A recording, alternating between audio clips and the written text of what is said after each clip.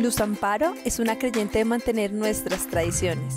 Por eso nos invitó a su taller en Funza, para que conozcamos su trabajo con las molas y cómo a través de ellas busca llenar la industria de la marroquinería de arte y cultura.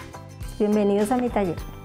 Esto viene como de una historia familiar. Hace algún tiempo eh, mi mamá me contó que estaba saliendo una tela de muchos colores y que además de eso era elaborada por mujeres indígenas. Entonces es así como yo me intereso por el tema, empiezo a indagar acerca del producto, pues realmente en mi casa materna siempre trabajamos el cuero.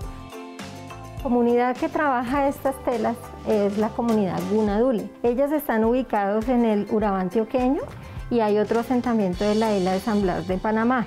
Entonces cuenta la tradición de las indígenas ¿sí? que ellas, eh, la técnica y los diseños han existido desde siempre. Ellos dicen que, que en el universo hay siete capas y en una de esas capas hay unos sitios, digamos, espirituales donde ahí estaba ubicada la dueña de las tijeras. Y ellos eh, empiezan como a, tratar de conocer esa técnica de la mola, pero solamente le permiten el ingreso a una mujer indígena eh, y ella va, conoce la técnica a esos, eh, a esos sitios espirituales, digamos, a esos lugares conoce la técnica y viene y entonces la plasma desde las, las niñas a los 5 años se le empieza a, dar las pautas de cómo empezar a trabajar la mola. Todo este trabajo que parece a máquina es totalmente a mano.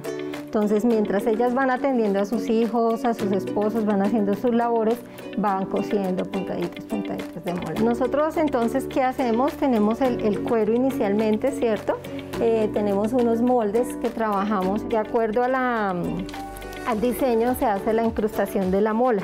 Entonces la mola se incrusta, se arma el producto y ya pasamos, entonces estamos aquí en el corte, hay un proceso desbastado y luego la guarnición. Y pensando también un poco en el tema social, ¿cierto? En el tema social de contribuir eh, dentro de este tema de, de pandemia y todo lo demás, pues empezamos a desarrollar muestras mirando los tapabocas desechables, mirando lo que salía en el mercado y es así que finalmente pues logramos tener un producto.